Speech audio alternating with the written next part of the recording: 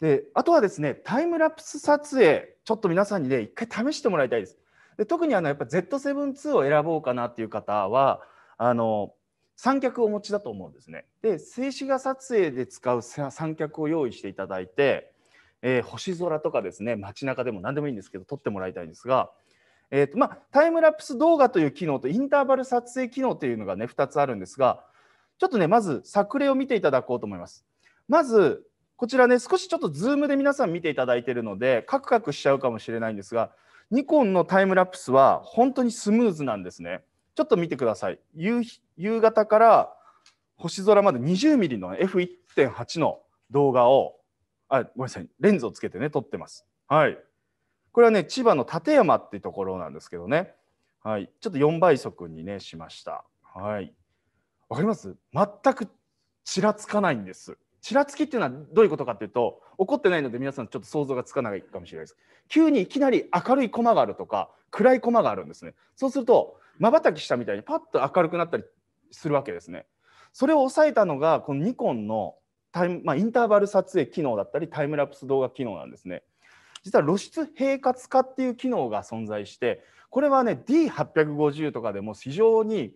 定評だったんです。それをそのまま引き継いでるので、今、新しく積まれた機能では全然ないんですけど、それがね、やっぱりタイムラプスを撮るときに非常にいいです。でも、星空の、例えば今、キャンプとかすごく流行ってると思うんですけど、僕もね、今、結構行っててですね、まあ、テントの横とかに置いといて、タイムラプスをこういうふうにね、撮ってるんですね。そうするとなんか動画撮るときとかですね、この今赤くなってるのは実は焚き火の反射だったりとかするんですけどね、こういったものを簡単に撮ることができます。はい、じゃあちょっとねやり方ねご紹介しようと思うんですがで今回は皆さんに知っていただきたいのがタイムラプス動画という機能もあるんですが実はインターバルタイマー撮影っていうのがおすすめなんですね。これはなぜかというとタイムラプス動画っていうのは動画しか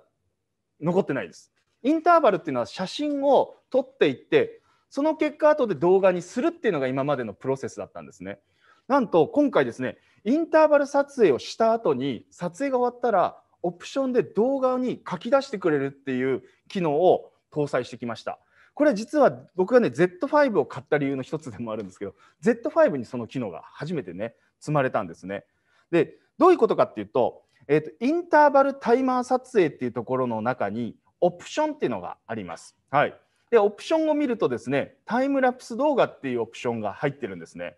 でその中で画像サイズフレームレートっていうのを決めてと記録先を決めるとインターバル撮影が終わった後になんと動画が保存されてるわけですね。これってねすごく便利なんですね。要は後で皆さん面倒くさい処理をしなくていいんです。でもちゃんと写真も残ってるので後々写真としても使える。これがやっぱり写真と映像の両立なんですね。それができるのがまあこのインターバルの機能なんです。はい。なのですごくね便利になってます。でちなみにあのインターバルで星空とか撮りたいなって方のためにですね簡単に設あの設定だけご紹介しておきましょうか。まず A モードにしていただきます。はい、A モードですね。絞り優先オートにします。はい。そしたらですね、えー、っとまず A モードにして絞りはですねできるだけ開けときます。星空を撮りたいので。僕なんかは、えー、と 20mm の F1.8 っていうのがもうベースのレンズになってます。はい。で、ここでやるべきことっていうのが、まず皆さんにね、2つほどやっていただくことがあるんですが、まず1つ目が、えーと、静止画撮影メニューの中の ISO 感度設定っていうところがあるかと思います。はい、これがね実は大事なんです。暗くなったりいったりですね明るくなっていくシーンにおいて ISO 感度を固定しとくのっていうのはあまりセンスが良くないんですね。失敗しちゃうんです。はい、なので、えーとまずベースの ISO は一番低いものにしておくので Z7-2 だと64が選べます。はい、で今度は感度自動制御をオンにしておきます。はい、で制御上限感度っていうのはあのどこまで ISO を上げてもいいですかっていうのを、まあ、カメラに設定する部分ですね。なので ISO を上げれば上げるだけシャッタースピードは稼げるんですが一方画質は落ちていきますのでまあ、例えばですね6400とか1万2800ぐらいにしといていただくとそれ以上は上げなくなります。はい、でタイムラプス撮影をする上で一番大事なのがこの低速限界設定というものです。要はどのタイミングから ISO を上げ始めますかっていう設定になりますので例えば僕だと星空撮るときに大体5秒をベースでやってます。5秒か8秒ですね。はい。それ以上だとちょっと光石が徐々にぶれたようになってきますので、ここで5秒ぐらいね選んでいただくといいんじゃないかなと思います。はい。なので設定まとめておくと ISO の設定は ISO 感度64感度自動制御はオンそして制御上限感度は皆さんのまあ使ってるレンズにもよりますので、まあ、とりあえず今6400にしてますが足りないようであれば12800とかにしてください。で低速限界設定というのは5秒にしておくことをお勧めします。はい。ここまでできたら次の設定にね、いきます。はい。じゃ次の設定というのは何かというと、今度下に降りていくと、えー、インターバル撮影というものが出てくるかと思います。インターバルタイマー撮影。はい。こちらを押していただくと、ちょっとね、ここで、あ、もう分かんないってなっちゃう方、意外と多いんですが、そんなに難しいものではないです。インターバルタイマー撮影っていうのは、何枚撮って何秒ごとに撮るかそれだけなんですね。なので、えー、まず下を押していただき開始時はちょっと後にしましょう。はい、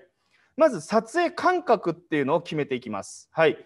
で撮影間隔は先ほど、えーと、ISO をのところでね低速限界を5秒にしたと思うのでなので、えーと、例えば5秒以上にしてほしいですね。6秒とか7秒とか8秒とか。まあ、例えばえーと、ちょっと長時間回すんだと、まあ、10秒とかにしといてもいいかなと思います。そしたら10秒に1枚取りますよっていう設定になります。はい、で、えーと、撮影回数っていうところこちらは、えーと、ちょっとね動画のことが入ってくるんですが動画っていうのは一般論で言うと1秒間に30コマ必要なんですね。なので10秒のタイムラプス動画を作ろうと思ったら簡単に言えばその、えー、と 3×10 ごめんなさいえっ、ー、と30ごめんなさい 30×10 秒ですね。でも300コマを1個 ,1 コマずつ取ってください。これがいい設定ですね。はい、300コマを1回取ってくださいと。はい。でやります。はい。でここが先ほど皆さんにご紹介した露出平滑化っていうところ。これをオンにしておくことでなだらかな明るさ変化のタイムラプスが取れます。はい。でさらにえーと、やっぱりタイムラプスはまったらですねずっとシャッターを動かすことになりますのでサイレント撮影電子シャッター使うとメカニカル動かさなくていいのであのやっぱりカメラへの負担っていうのが低くなるんですねなのでこちらも入れといてください。はいで、えっと、撮影間隔優先はオフで OK で、えっと、撮影間隔前の AF 駆動はオフです。オートフォーカスは基本使わない一発目だけでいいです。なのでオフでいいです。はい。で、最後、オプションっていうところですね。オプションでタイムラプス動画っていうのを選んでいただいて右を押します。そうすると画像サイズフレームレートっていうのがね出てきますので、えー、例えば2160っていうのが 4K のことですねニコンでいう。なの 4K30p っていうのを取っときますってやっていただいてあと動画はどっちに記録しますか？SD スロットですか？CF エクスプレスですか？っていうのがあるので好きな方を選んでいただいて、えー、戻るをね押します。はい。そしたらですね最後えー、撮影開始ってやっていただくとタイムラプス撮影が自動にき、ね、やってくれます。はい、あとねちょっと便利な機能は例えば朝方だけ撮りたいとかっていう方いますよね。例えば皆さんが12時に寝るとして4時ぐらいから撮るんだと4時間しか寝れないじゃないですか。そういった時に助けてくれる機能がこちらです。開始時の設定要は、えー、明日のすいませんけど4時に撮っといてくださいというのが、まあ、できるわけです。はい。こうやってねやっておくとね明日の、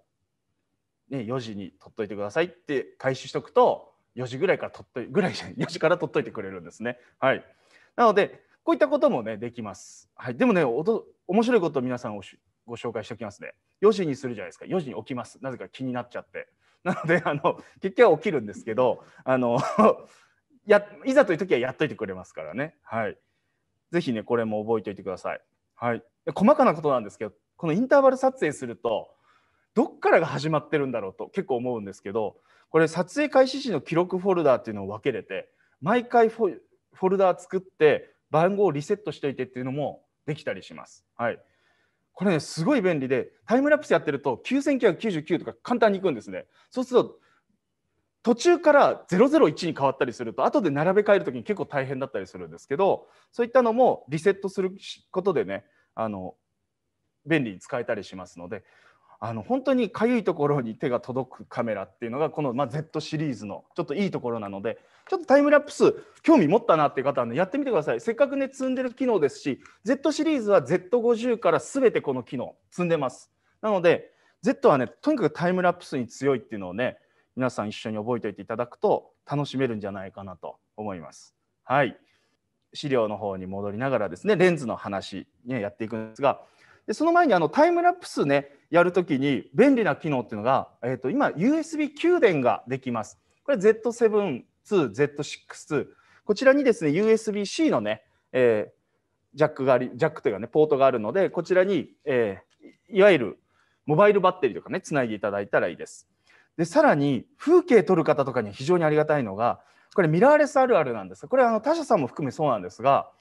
あの電源落とすとフォーカス位置がずれちゃうっていう戻っちゃうっていうのがあの多くのカメラにあるんですね。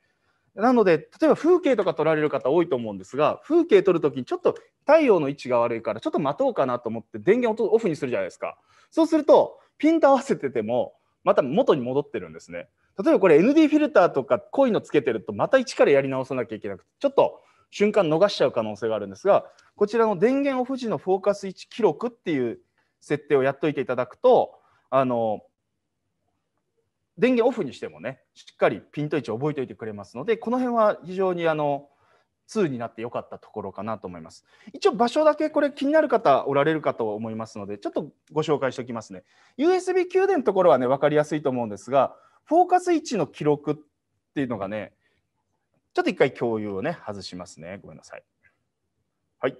ではメニューを押してえーと、これね実は、えーと、カスタムではなくてセットアップに入ってますので、えーと、このスパナのマークに行っていただきます。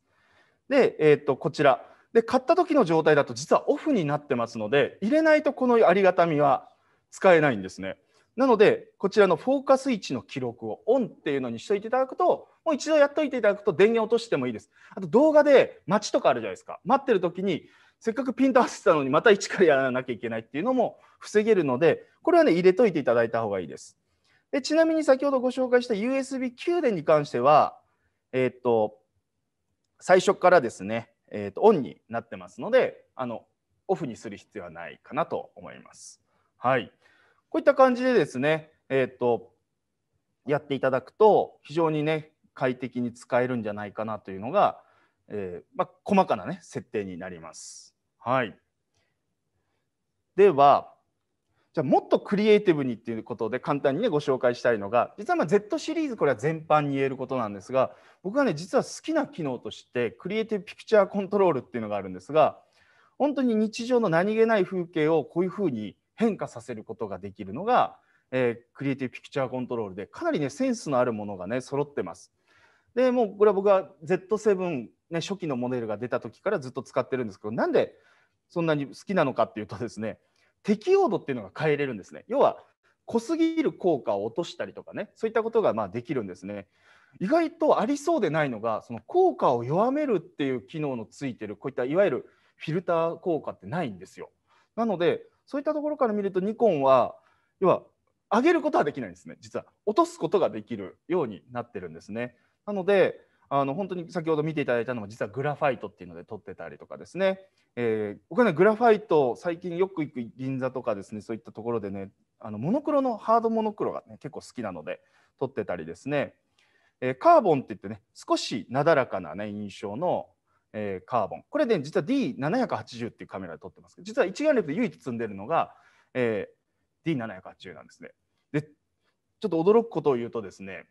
実はあのニコンには純正のロー現像ソフトですね。今、えー、キャプチャー NXD っていうのからスタジオになったのかな。どこまで過去カメラ使えるのかと。要はローを取っておけば変えれるわけですね。で僕がね確認したところですね手元にあったのが D40 っていうカメラだったんですけどそれのローもちゃんとこのカーボンとか使えたんですね。それぐらいニコンって前の機種でもやろうと思えばね使えたりするのであのちょっと興味がある方はね純正のソフト見ていただくとねいいかと思います。やっぱりでもボディ内でやりたいという方はやっぱ Z シリーズとかですね一眼レフだと D780 になりますもう本当にねあの日常特にあの最近はなかなか出かけられなくて日常を撮りたいっていう方多いと思うんですが日常をちょっとクリエイティブにやりたいなと思った時にこの機能をね使っていただくとすごく楽しいのでね是非あの触ってみてください。あのピクチャーコントロールのところから、えー、入っていただくとちょっと変えてみますね。はい、ちょっと皆さんにね分かりやすいように今 Z お手元にある方はですね I メニュー I ボタンを押していただいて I ボタンからピクチャーコントロールっていうところがあると思うのでこちらに行っていただきます。で女性の、ね、姿のものは今までの既存のものでそこからドリームとかモーニングとかポップとかっていうのがいわゆる、えー、エフェクトの部分になりますね。はい、で実はここで下ボタンを押すと先ほどの適用度っていうのを変えたりねできるようになってます。はい、すごくよくできてる機能なのでこちらもちょっと使ってもらうとねいいんじゃないかなと思います。